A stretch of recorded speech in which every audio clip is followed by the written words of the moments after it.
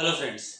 I am doctor Sharad Ingade director Samarth fertility and fetal medicine centre Nagpur मैं मेरे IVF lab में हूँ